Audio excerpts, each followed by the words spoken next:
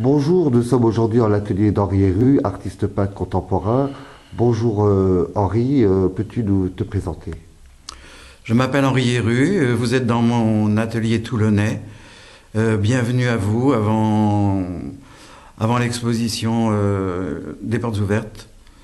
voilà, je, je, montre ici tout ce qui s'est passé depuis huit ans de création, d'exploration de l'espace ressenti ici.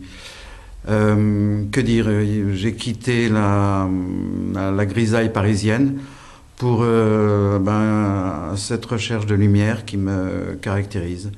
Euh, voilà, c'est là que j'y puise toutes mes forces. mais ben, ma vitalité est là. Il s'agit de je m'appuie beaucoup sur les, sur les champs colorés. Euh, je, euh, du rouge, beaucoup de, beaucoup de rouge, beaucoup de jaune, beaucoup de couleurs primaires. Et ce que j'ai trouvé ici aussi à Toulon, c'est le bleu, quoi, qui me manquait à Paris, où le bleu est toujours euh, défini, trop, trop, trop architecturé, trop, trop coincé, je veux dire, entre les immeubles. Ici, ben, il y a une respiration que j'essaye, une sorte d'infini que j'essaye de faire passer dans, dans, ma peinture. Pour vous, d'être à Toulon aujourd'hui dans un atelier et ce mouvement vers le Pro Lafayette, l'œuvre d'un artiste euh, contemporain, ça représente quoi?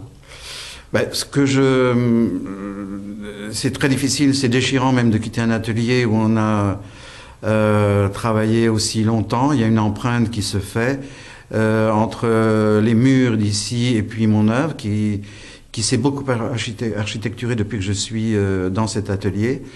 Euh, bon, mais il faut, il faut oser bouger, se métamorphoser, accepter cette, euh, qui est du mouvement. Euh, d'aller vers euh, le cours Lafayette est, est, vital, dans le sens où il rejoint un peu le, le, marché de mon enfance, un des marchés importants de Paris. Je vivais près du marché d'Aligre, et c'est là, je dirais, que j'ai appris la couleur, j'ai appris l'art, j'ai appris les formes, euh, j'allais dire j'ai appris la vie. Euh, et donc euh, cette superposition dans le temps avec le cours euh, Lafayette, avec ce splendide euh, marché qu'a qu chanté euh, Gilbert Bécaud, une des vedettes de mon enfance. J'aimerais bien rejoindre sa vitalité et, et faire partager cette vitalité au public. Pour vous, euh, l'art, euh, l'immortalité, la nature, le soleil à Toulon, c'est un maître mot important dans la vie d'un artiste euh, Je vais essayer de reprendre les questions dans le sens, il y en a beaucoup. Euh, la nature, euh, oui, mais la nature pour un peintre abstrait, se fait plutôt dans la, dans la structure, dans la traversée de, de la nature et des sensations que je, que je, que je mets en mémoire. Donc je peins quelque part sur la nature et puis apparaît maintenant des plans verts dans mon travail. Euh, mais c'est vrai que ça se fait, c'est pas immédiat, c'est pas comme euh, c'est pas comme Van Gogh d'une façon immédiate. Mais quelque part, je le rejoins par les jaunes. Euh, pour la euh, pour l'immortalité, euh, ben l'envie que que des toiles soient toujours présentes et soient toujours importantes après ma mort. Euh, oui, on s'efforce de ça. Il y a un hors-temps qui serait, important de conquérir. Euh, J'y pense, c'est vrai. Mais bon, après, là, je ne suis pas maître du, destin de mes toiles. Euh, bon, ce qui est important, c'est le présent pour moi. Euh, le présent, ben, il va être, euh, être. Ces deux jours ont été euh, très importants par les échanges qui ont été faits. Il y a eu un, ancien résistant ici, un homme de 90 ans, qui est monté dans l'atelier et qui s'est intéressé à tout mon travail sur René Char. Euh, J'ai trouvé ça très rien que pour ça, cette expo est, est, vitale, quoi, lui donne sa légitimité.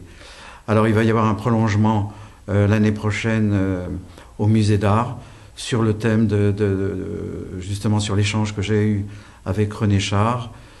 Euh, où je mêle euh, sa poésie à mes propres, à mes propres peintures. Mais ces concordances avec les poètes euh, m'intéressent énormément.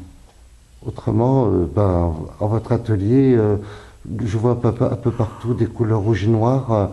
Les couleurs du RCT, ça vous touche quelque chose? Et oui, parce que et oui, parce que ce sont les mêmes couleurs et euh, dans les passes, euh, les impasses, euh, dans, ce, dans ces, secousses de corps, oui, dans le but aussi. Ce qu'il y a, c'est que moi, je, me bats contre moi-même.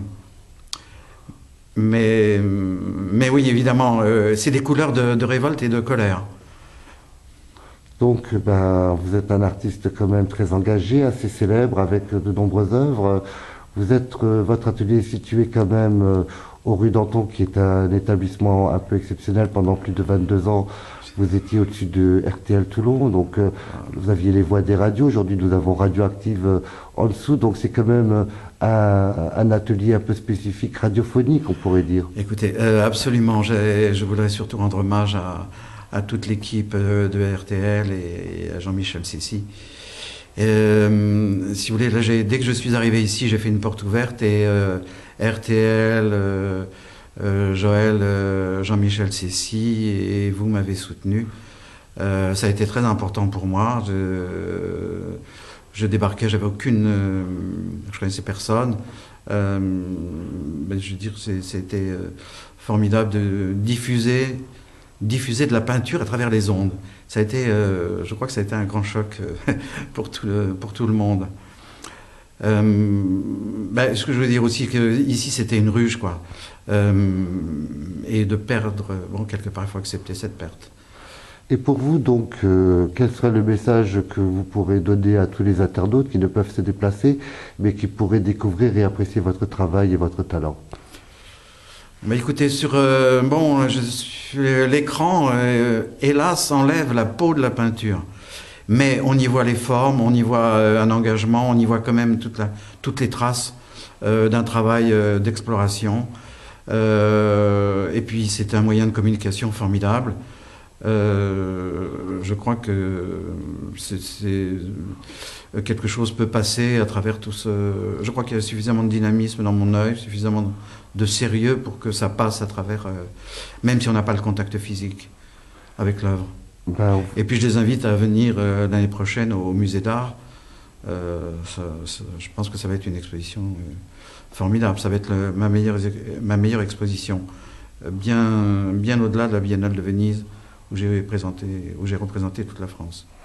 Écoutez, Henri Hieru, nous vous remercions infiniment de cette petite visite, de cet entretien en vos ateliers en sachant que vous avez quitté cet atelier pour le cours Lafayette au mois de février, où nous informerons les téléspectateurs donc de votre euh, nouvel endroit, de votre nouvelle stratège, comme on pourrait dire, où là vous êtes euh, sur la rue Danton, à côté où le soleil tape fort, et là vous serez sur le cours Lafayette, près de la Méditerranée, ah où peut-être des nouvelles couleurs vont naître, des nouveaux projets vont, vont ressusciter peut-être. Je pense, euh, je pense aussi, j'aurai encore plus de ciel qu'ici.